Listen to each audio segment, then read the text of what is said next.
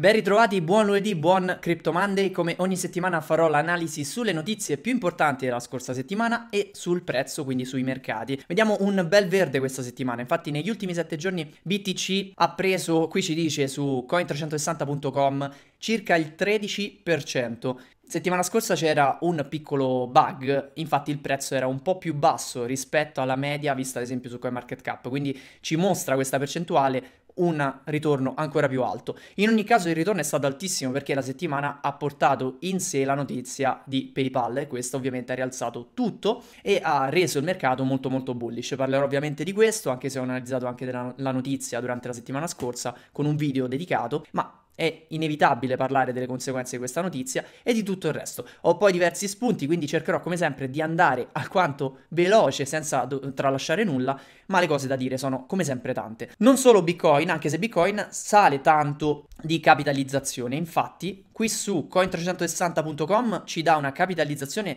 con una dominance al 63.66%. Su CoinMarketCap vediamo una dominance al 61,2%. Questo dipende da quali tipi di mercato si va a considerare, quindi quante monete si considerano. Su coinmarketcap.com abbiamo più di 7500 monete. Che cosa vuol dire una capitalizzazione che si alza? Una dominance che si alza che Bitcoin sta aumentando di valore, mentre invece le altcoin sono pressoché stabili o rialzano meno di Bitcoin. Questa è la sintesi. La market cap totale di tutto il, il settore si muove verso i 400 miliardi, sta tornando verso i 400 miliardi di dollari. Bitcoin ha superato i 13.000 dollari in pochissimo tempo. Ricordiamo che la resistenza forte era quella ai 12.000 avevamo visto nell'analisi tecnica della scorsa settimana. Quali sono le migliori monete di questa ultima settimana. Abbiamo Reserve Rights che fa un 58%, Quant con 42%, Filecoin che fa 27%, ci sono stati dei problemi nella gestione diciamo dell'economia di questo protocollo, nonostante questo c'è stato un, un grande pump al lancio, un dump e di nuovo un pump a quanto pare, comunque sia nel complesso settimanalmente ha fatto un 27%. Amplefort che sappiamo essere una moneta che comunque subisce dei rebase, in questa settimana è nel ciclo di rialzo sopra il dollaro, un 24% comunque nella settimana. Litecoin 23%, Errond 22%, per poi proseguire ovviamente anche Wrapped BTC che segue Bitcoin, perché è un Bitcoin wrappato, quindi tokenizzato su blockchain Ethereum, fa un 14%, così come BTC stesso. Vedere un BTC che fa un 14%, quindi tra le, tra le top gainers settimanali, è sempre bello vuol dire che il mercato è in fase rialzista, essendo Bitcoin il 60% del mercato a livello di capitalizzazione. Le top losers di questa settimana sono ABBC Coin che era salita settimana do- prima, Edge Trade che fa un meno 17%, Uniswap che fa meno 13%, UMA che fa un meno 12%, Kusama meno 11%, The Midas Touch che anche era cresciuto, CRO che abbiamo visto essere sceso parecchio dopo i cambiamenti che ci sono stati, adesso dopo essere sceso verso i 9 centesimi sembrerebbe appunto pian piano tornare verso i 10 centesimi, Blockstack, SushiSwap eccetera. In generale vediamo un trend dove tutti quegli asset che avevano avuto, tutte quelle monete, quei token che avevano avuto un boom legato alla DeFi, soprattutto durante l'estate, stanno un pochino ridimensionando le loro, le loro grandezze. In ogni caso questa settimana siamo all'ultima settimana del mese, quindi arriverà le migliori altcoin del mese di ottobre. Probabilmente arriverà sabato questo video qui dove ci sarà un'analisi specifica su questi argomenti. Bitcoin una settimana fa valeva 11.477 dollari, in una sola setti- settimana ha fatto appunto più del 10% di rialzo, appunto il 14%, settimana molto molto bullish. Vediamo la finestra temporale ad un mese, un mese fa il prezzo era 10.699 dollari, quindi anche questo mese, quello di ottobre, diciamo fine settembre, eh, ottobre, è stato un mese molto molto importante per Bitcoin. Finestra temporale a tre mesi, il prezzo tre mesi fa era 9.880 dollari, quindi sotto i 10.000 addirittura, parliamo del 26 luglio, comunque una cifra alta se ricordiamo il periodo, perché uscivamo da quella crisi di liquidità che aveva portato il prezzo addirittura sotto i 4.000 dollari in, una, in quel giovedì nero no, di marzo. Un anno fa Bitcoin valeva 9.396 dollari, quindi chiunque abbia deciso di entrare in Bitcoin in questo anno, in quest'ultimo anno, al momento è probabilmente in profitto e complimenti per aver scoperto Bitcoin. In più, questo sarà uno degli argomenti di questo Crypto Monday, in generale chiunque sia in Bitcoin al momento difficilmente è in perdita, a meno che non abbia fatto delle operazioni assurde a livello di speculazione. L'hash rate è sempre molto positivo, rispetto a settimana scorsa stiamo vedendo un calo, ma settimana scorsa, lunedì scorso, avevo fatto vedere di come c'era stato l'all time high sull'hash rate, quindi mai era stata più alta la potenza di calcolo nella rete Bitcoin. Come avviene spesso, quando sale tanto poi si ridimensiona e abbiamo visto diverse volte nella sua storia aver avuto appunto un andamento che si alza, si riabbassa, ma tendenzialmente va sempre ad aumentare, anche perché aumentano e migliorano le tecnologie per appunto il mining. Passiamo ad un pizzico di analisi tecnica. Questa volta il grafico è molto molto promettente e diverso dalle ultime settimane. Infatti vediamo questa candela importantissima del 21 ottobre a seguito dell'annuncio di PayPal dell'adozione e quindi del lancio di servizi per compravendita e custodia di cripto c'è stata questa risposta molto molto importante che ha portato in una sola giornata il prezzo addirittura già sopra i 13.000 dollari da un prezzo inferiore ai 12.000 quindi questi sono i classici spike forti, potenti che Bitcoin ogni tanto fa quando ci sono queste notizie così importanti. Ovviamente è stata cavalcata da chi voleva in questa fase portare dell'ottimismo sul mercato ottimismo che è arrivato ed è stato supportato da tante altre notizie tante altre dichiarazioni soprattutto abbiamo visto di come gli istituzionali stiano esponendo in modo positivo. Vi rimando ancora al video che ho fatto settimana scorsa per analizzare quello che ci ha detto ancora una volta Paul Tudor Jones. Oggi invece parlerò di quello che ci dice anche JP Morgan, che qualche anno fa, solo nel 2017 con Jamie Dimon, diceva che Bitcoin era una truffa e oggi vede un investimento dal potenziale considerevole. Lo vediamo tra un attimo. Comunque, l'analisi tecnica è stata rotta questa resistenza a 12.000 molto importante, a lungo ho detto di come eh, questa resistenza sarebbe stata appunto fondamentale e oltre a romperla avremmo dovuto vedere anche un supporto che questa diventa poi un supporto. Ancora non è stata testata verso il basso perché siamo andati solo verso l'alto e addirittura si è rotto subito i 13.000. La prossima resistenza verso l'alto è quella storica perché ritornia- torniamo al 25 giugno 2019 e addirittura ancora più indietro a gennaio 2018 per vedere questa resistenza dei 13.800 dollari. Dopo di questa non ci sono reali resistenze verso l'all time high. Alcuni analisti dicono che questa resistenza ce la porteremo per tutto il 2020, quindi per tutto questo finale di anno e in caso venga poi superata, rotta, si potrebbero vedere rialzi molto molto importanti e questo potrebbe avvenire ad inizi 2021. Questo è quello che riportano gli analisti. Ma nella realtà dei fatti nessuno sa veramente come potrà evolvere questo mercato, ci sono tantissime variabili, non solo del mercato cripto, ma anche esterne, soprattutto l'andamento delle borse in generale, come andranno a finire le elezioni americane, che in realtà non, non, cambierà molto da chi vincerà queste elezioni, ma le reazioni che saranno a seguito, in generale, sia con Biden che con Trump, e poi se magari arriverà anche una soluzione alla pandemia, se arriverà una soluzione a questo contagio che adesso sta vedendo la seconda ondata, e quindi gravi difficoltà economiche per tutti i paesi. Quindi se dovesse arrivare una soluzione, ad esempio un vaccino, questo potrebbe portare un bel po' di ottimismo su tutti i mercati e un mercato in questa fase, come quello del cripto, come quello di Bitcoin, potrebbe prendere uno slancio davvero, davvero importante. Quindi ci sono delle, eh, delle situazioni da osservare. Sempre dietro l'angolo un'eventuale crisi di liquidità, una nuova paura e quindi eventuali nuovi lockdown, eccetera. E quindi anche quello è sempre da tenere in considerazione e si potrebbe rivedere nuovamente un ribasso. Appunto, adesso andiamo a vedere quello che ne, ne pensano anche gli analisti. Ci dovremmo sempre aspettare un eventuale drop del prezzo, perché non è che salirà per sempre. Bitcoin non, non, è così, ma nessun asset funziona così, niente sale e basta. E quando si è salito tanto ci dobbiamo sempre aspettare un minimo di correzione, questo è naturale e anche eh, salutare per qualsiasi mercato. In ogni caso molto molto positivo vedere questo 13.174 perché il prezzo si porta in modo consistente sopra i 13.000 e non solo, chiude la settimana sopra i 13.000. Infatti se metto questa analisi in settimanale, vediamo che è stata chiusa una bella candela settimanale con il prezzo sopra ai 13.000 e attenzione perché questa è una cosa molto molto rara. Infatti questa è la seconda settimana più alta a livello di prezzo chiusa dal 2018 la precedente più alta era ad inizio 2018, a seguito della grande bolla, a seguito del grande all time high, quello dei 20.000 arrivato a dicembre del 2017.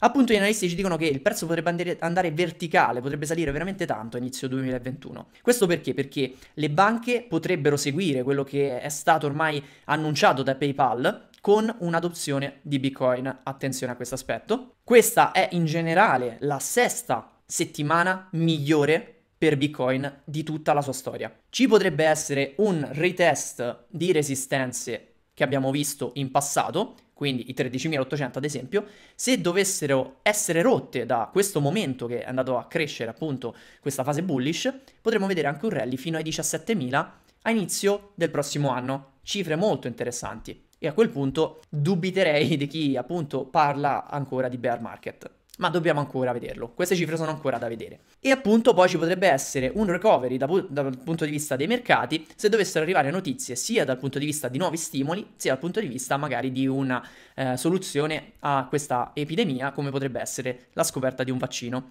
come vi ho appena accennato. I fondamentali sono molto forti, abbiamo visto di come la, la rate abbia raggiunto il suo all time high, c'è plan B che è molto molto bullish e appunto anche lui ci parla di una crescita verticale nel 2021, ossia ci va proprio a dire non abbiamo ancora visto nulla, non, non, non siamo ancora partiti, non è ancora iniziato nulla, siamo solo alla prefase di un eventuale bull run. Però finché parla Plan B, finché parla Max Kaiser o Michael Novogratz, sono volti che ormai abbiamo imparato a sentire che sono sempre stati bullish negli ultimi anni, anche quando le cose andavano molto male.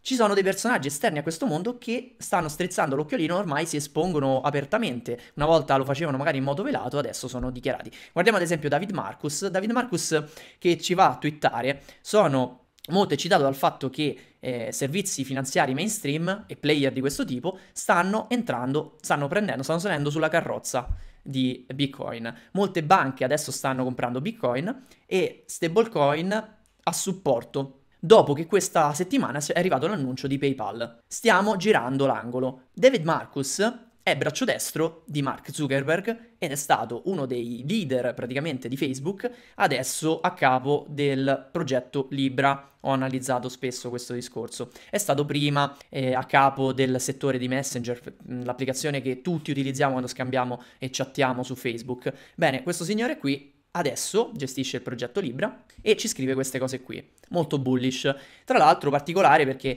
eh, vede positivo appunto questo, eh, diciamo, se vogliamo, tradimento di PayPal, perché PayPal faceva parte della cordata Libra, ne esce e adesso porta avanti, diciamo, questo suo progetto da sola. Io ho delle mie idee che ho già espresso. PayPal probabilmente, oltre a fare questo e acquisire determinati servizi, abbiamo visto delle voci su BitGo, secondo me si sta preparando anche a, prepar- a, a rilasciare una sua stablecoin. Non mi stupirei per niente se nel 2021 arrivasse appunto un progetto di stablecoin marchiato PayPal. Di cosa stiamo parlando? Questa è stata la grande notizia, appunto vi rimando comunque ai video della scorsa settimana, li trovate sul mio canale, ma in generale PayPal annuncia che inizierà ad, ad, accettare pagamenti in cripto nel 2021. Quale monete? Innanzitutto, questo è un aspetto importante, accetterà ed includerà Bitcoin, ovviamente BTC, Ethereum, quindi Ether, Bitcoin Cash, BCH, e Litecoin, LTC. Queste sono le monete che partiranno, questo è proprio quello che dichiara la società. È stato possibile grazie a una partnership con Paxos, perché è stato possibile? Perché altrimenti avrebbe dovuto fare tutto un processo per richiedere eventuali licenze. Facendo una partnership con chi la licenza l'ha già ottenuta e ci ha combattuto anni per averla, si ritrovano praticamente già la licenza in tasca. E questa è una licenza fornita dal New York State Department of Financial Services, ossia proprio uno dei dipartimenti che la riconoscono e regolamentata quindi negli Stati Uniti. Una volta che si è regolamentati negli Stati Uniti, praticamente si può fare quasi qualsiasi cosa si voglia ad oggi. Non solo, non solo compravendita e custodia. Tutti i grandi commercianti potranno accettare pagamenti in cripto grazie a PayPal. Immaginate che onda d'urto arriverà a livello di adozione su questo settore. Io adesso non è che voglio lanciare una FOMO. Lo so che spesso mi scrivete i tuoi video, ogni tanto, ogni video ci, ci manda in FOMO. Però ragazzi, leggere queste notizie e non vedere dove si sta andando, cioè io non so come si faccia, io, io stesso rie- mi trattengo a malapena, ecco. Tra l'altro, JP Morgan, proprio dopo la notizia, diventa super bullish su Bitcoin. JP Morgan's Global, uh, Global Market Strategy, la divisione che si, op- si occupa appunto de- delle strategie di mercato, discute sulle ragioni per cui Bitcoin potrebbe essere potenzialmente molto molto bullish, molto rialzista sul lungo termine. Ci parla di come l'investimento su Bitcoin, parla proprio di investimento, è molto considerevole potenzial- nel suo potenziale. Questa arriva proprio dopo le dichiarazioni di PayPal. Poi troviamo tanti, di, tanti, tweet di questo tipo che ci ricordano giustamente di come Bitcoin era stato etichettato come frode, come truffa, solo nel 2017. Io lo ricordo benissimo, c'era proprio l'enfasi crescente di Bitcoin. Bitcoin nel mm, settembre 2017, adesso vado a memoria, stava andando verso i 5.000 dollari dopo una crescita pazzesca perché inizio anno valeva 1.000. Arrivano le dichiarazioni di Jamie Dimon che diceva appunto che Bitcoin era una truffa, Bitcoin crolla nuovamente, mi sembra fece un meno 30, un meno 40%, da 5.000 tornò di nuovo a 4, 3.000 per poi rialzarsi, sappiamo tutti come è andata a finire il fine anno, verso i 20.000 dollari. Ma adesso la stessa banca ci dice il potenziale a lungo termine a rialzo di Bitcoin è considerevole se andrà a competere con l'oro, con il mercato dell'oro, come alternativa e non solo come alternativa all'oro, ma anche come currency, perché ha questa doppia potenzialità, non solo è una riserva di valore, ma anche una sorta di currency. E visto che i millennial quando più passa il tempo più i millennials diventeranno potenziali investitori, perché comunque c'è uno shifting proprio demografico, noi andremo a vedere un passaggio da quelli che ad oggi sono investitori, i baby boomers principalmente, a quelli che saranno appunto i millennials. E per un millennial sarà molto più probabile un interesse verso un asset digitale, puramente digitale come Bitcoin, rispetto a un asset come l'oro, per tantissimi punti di vista. Sono cresciuti i millennials con lo smartphone in mano. Quindi dobbiamo considerare questi aspetti che sono di natura fondamentale e questo lo sanno bene anche le banche e una delle banche più grandi del mondo. Prima però lui ci dice eh, ci sono tre maggiori ragioni per cui Bitcoin potrebbe avere veramente un mercato molto molto bullish sul lungo termine. La prima è che potrebbe crescere ancora di 10 volte prima di andare a fare matching con il settore dell'oro. Quindi Bitcoin prima di essere paragonato al mercato che ad oggi l'oro a livello di investimento dovrebbe crescere ancora altre 10 volte. Quindi c'è un margine di crescita di 10 volte, 10 per. Se andiamo a fare i conti arriverebbe a un prezzo di Bitcoin che ad oggi potrebbe arrivare tranquillamente più di 100.000 dollari per singolo Bitcoin. Secondo, le cryptocurrency hanno un alto utilizzo. Questo ce lo dice JP Morgan che tre anni fa diceva che era una truffa. Terzo, Bitcoin potrebbe essere molto di appeal, quindi attirare molto i millennials sul lungo termine, quello che vi ho appena detto. Considerando che poi non ci sono ancora ETF su Bitcoin, immaginiamo quello che potrà essere quando questo settore abbraccerà ancora di più, quello della finanza tradizionale, quando il settore finanza tradizionale abbraccerà ancora di più questo nuovo settore tecnologico. Le cryptocurrencies derivano il loro valore non solo perché servono come store of wealth, quindi come riserva di ricchezza, ma anche perché hanno un loro utilizzo come, come mezzo di pagamento. Più persone, più agenti, diciamo, accettano cryptocurrency come pagamento in futuro e maggiore sarà il loro utilizzo e quindi il loro valore. Par- parole de- della banca JP Morgan. E questa arriva proprio dopo che PayPal mette sul piatto in modo concreto un'adozione di questo servizio. Settimana davvero davvero bullish, è difficile non esserlo. Però cerchiamo di guardare qualche aspetto che sul breve termine potrebbe portare il prezzo a ribasso, perché è giusto essere oggettivi. Allora, per Halloween arriveranno delle scadenze importanti, soprattutto a livello di futures e di opzioni. Il 30, nove- eh, scusate, il 30 ottobre, quindi l'ultimo venerdì del mese di ottobre, ci saranno delle scadenze per un valore di 750 milioni di dollari in opzioni su Bitcoin. Quando arrivano queste scadenze molto pesanti, solitamente si stimola molto la volatilità sul mercato. E non solo, come ogni venerdì del mese, come ultimo venerdì del mese, coinciderà anche con la scadenza dei futures e che anche i futures sul CME hanno accumulato bei volumi. Quindi attenzione a questa settimana perché potrebbe portare un'alta volatilità. Vi lascio sempre i riferimenti qui in descrizione. Questi articoli che vi faccio vedere li trovate sempre in descrizione video per approfondire. Co- cosa voglio dire con questo? Siccome in realtà nessuno sa adesso il prezzo quanto si potrà muovere, ma dobbiamo considerare che la settimana scorsa ha avuto una volatilità verso il rialzo molto importante. Vi prego, non ancoriamoci a questo prezzo, perché Bitcoin non potrà reggere i 13.000 dollari per sempre, probabilmente ci sarà un retest verso i 12.000 dollari.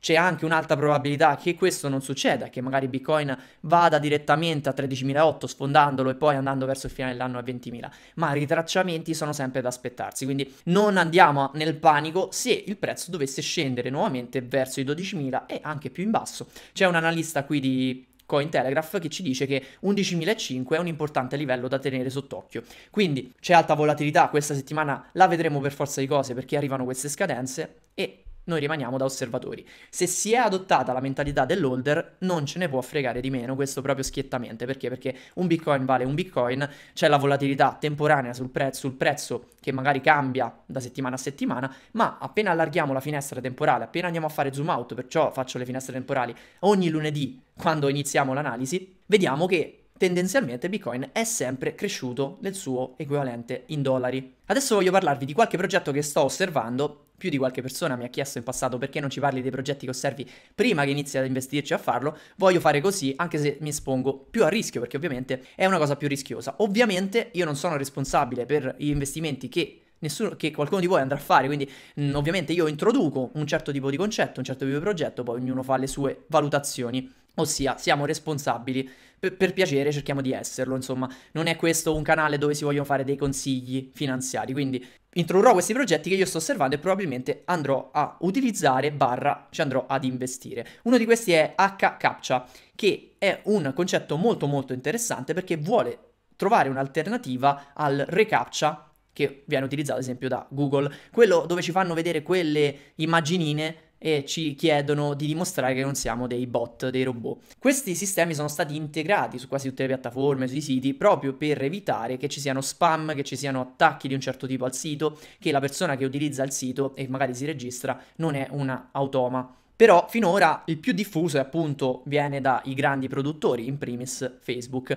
Questa azienda qui, che ha base a San Francisco, e già mi piace parecchio il discorso, perché quando nasce una società a San Francisco, in California, qui parliamo di Silicon Valley, molto probabilmente alle spalle qualche bel investitore di un certo livello per arrivare a questo, a questo punto qui. Appunto, HCaptcha questo è il suo sito, ferma più bot e inizia a proteggere la privacy, la privacy, degli utenti. Infatti, quando noi andiamo a riconoscere quelle immagini e andiamo a fare una sorta di selezione, noi andiamo a istruire una macchina che impara praticamente un'intelligenza artificiale che ha un machine learning alle spalle e stiamo dando questo tipo di conoscenza praticamente in modo gratuito. Inoltre stiamo anche esponendo quelli che sono i nostri dati perché quando quelle macchine vanno a salvare determinate cose sanno che il nostro account appunto è un account umano, tante altre informazioni che vengono derivate da questa operazione qui. A cosa serve HCaptcha? Serve innanzitutto per togliere questo discorso, quindi è incentrato sulla privacy. In generale le reti pubblicitarie vedono i tuoi visitatori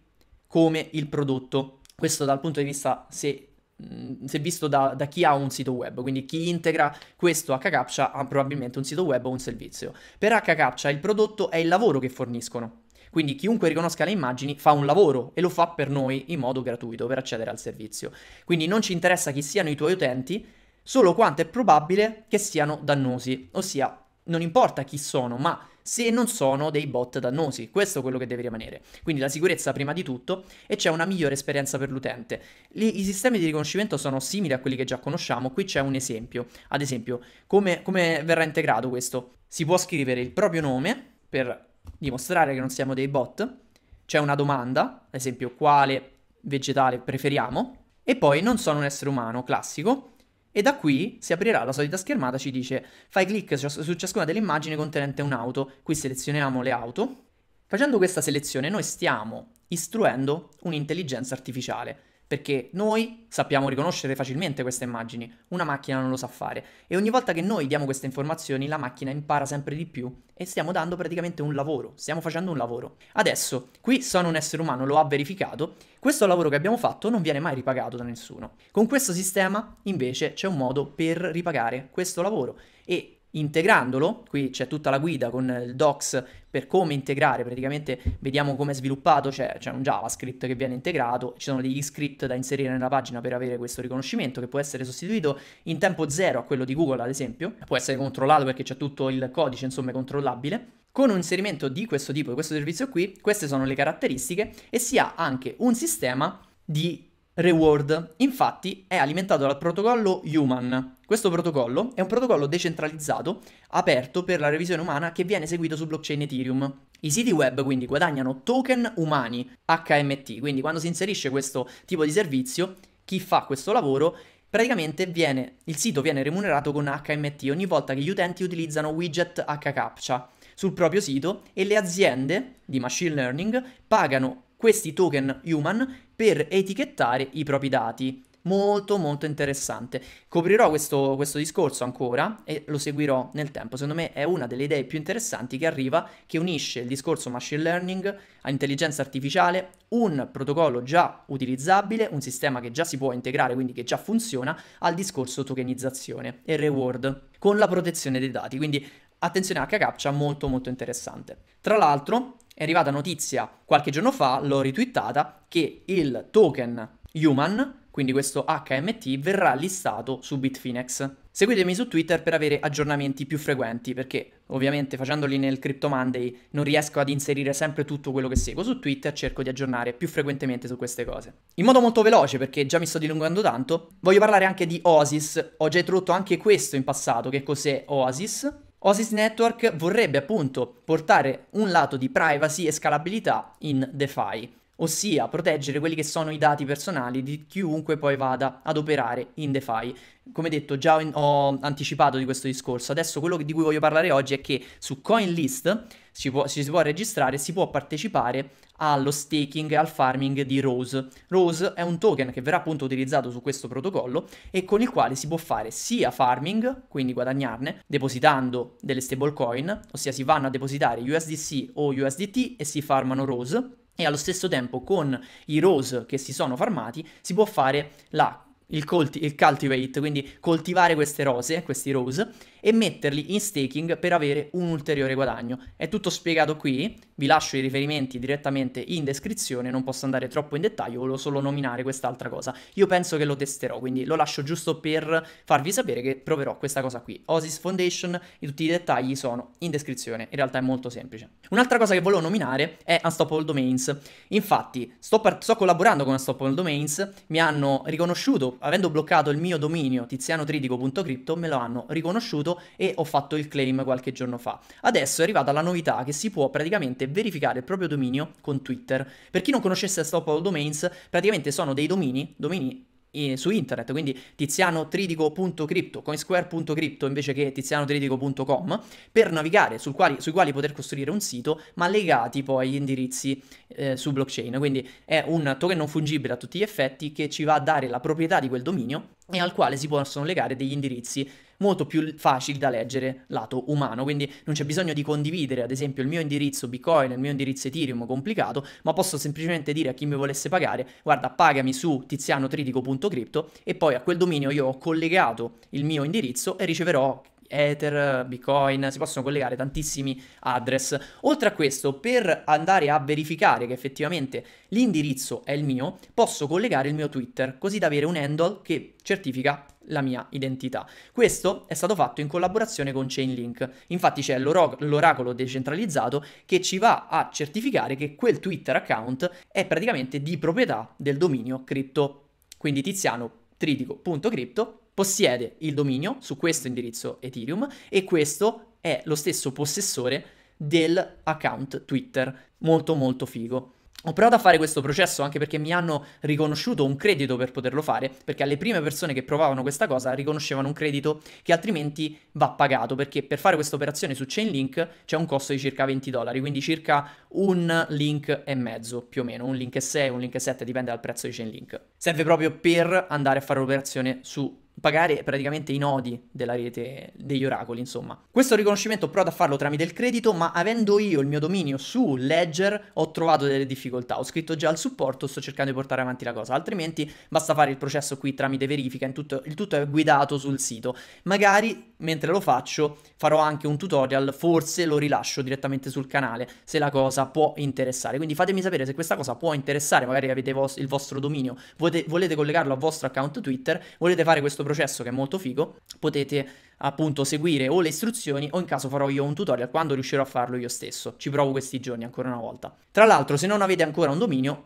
Ovviamente ho un mio link dal quale potete acquistare i domini, trovate direttamente il link in descrizione e potete cercare sul sito Unstoppable Domains il vostro nome ad esempio o il dominio che volete comprare punto .crypto attenzione perché questi domini stanno pian piano andando a finire quindi è un po' come la corsa ai domini.com degli anni 2000 a inizio del 2000. A proposito di cripto, mi collego anche a crypto.com che tra l'altro è partner di Unstoppable Domains, infatti se si pagano i domini su Unstoppable Domains con CRO si ha il 10% di crypto back, quindi in CRO direttamente. Volevo farvi vedere questo video perché mi è arrivata l'email proprio oggi che praticamente chi ha livello private, quindi eh, chi abbia ha, già riservato la carta a partire da l'Icy White oppure la Rose uh, Gold Rose, insomma quella che richiedeva 100.000 CRO di blocco, ha accesso anche al Private Welcome Pack. Lo avevamo visto nella lista dei bonus e oggi arriva appunto questo video qui che volevo farvi vedere.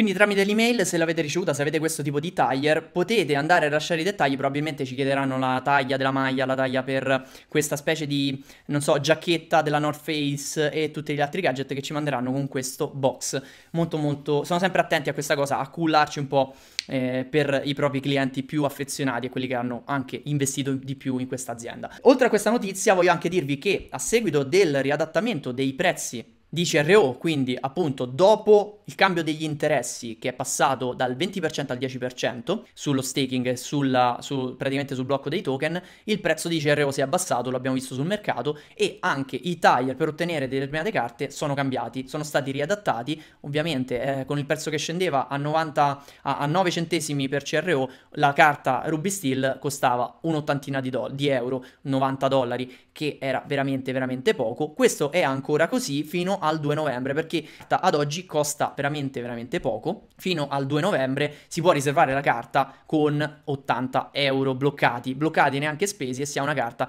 che riconosce tutti i vari bonus e anche il cashback, mm, insomma c'è Spotify, tutte le altre cose di cui già ho parlato ad un prezzo veramente veramente vantaggioso, difatti aumenterà il 2 novembre, questi per avere queste carte si, bisognerà bloccare nuova, questo nuovo quantitativo, quindi l'entry level diventerà 2500 CRO. È anche normale che sia così. Queste carte hanno un costo per l'azienda. Però a livello di produzione sono carte belle, metalliche, fatta vedere più volte, vi rimando all'unboxing della carta. Inoltre, sempre all'1 novembre, al 2 novembre, vi ricordo che anche il referral andrà a dimezzare, quindi se si entra ora si, ricever- si riceverà un 50 dollari di bonus, questo fino al primo novembre, poi questo bonus dimezzerà e diventerà 25 dollari. Quindi, se ancora non l'hai fatto e eri interessato a prendere la carta, questo è il momento migliore in assoluto perché si, eh, si, costa praticamente la metà, meno della metà di quello che costerà a novembre e si ha il bonus che è il doppio. PS, è normale che succede questo, cioè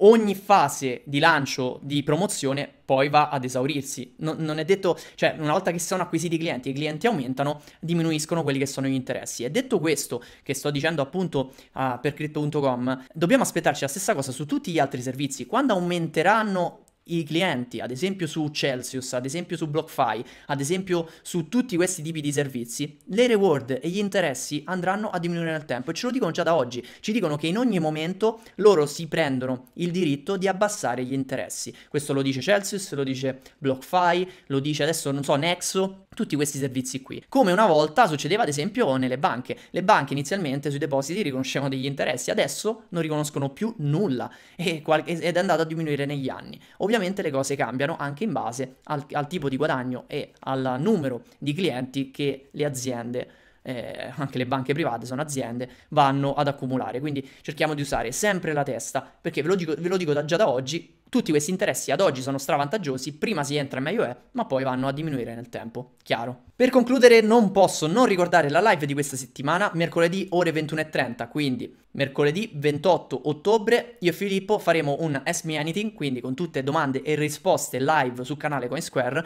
parleremo di questa crescita di Bitcoin, delle notizie importanti che sono arrivate, degli istituzionali che stanno entrando, risponderemo a tutte le domande, gli interessi, cercheremo di analizzare quello che è una prospettiva anche di crescita sul prezzo, tutte le curiosità che avete, insomma ci vediamo mercoledì alle 21.30 su CoinSquare. Per il resto per il Crypto Monday è tutto, ci vediamo lunedì prossimo e oltre a questo cercherò di fare altri approfondimenti durante la settimana, magari anche altri tutorial su quello che servirà appunto rilasciare. Ho già qualcosa in mente. Ci vediamo presto.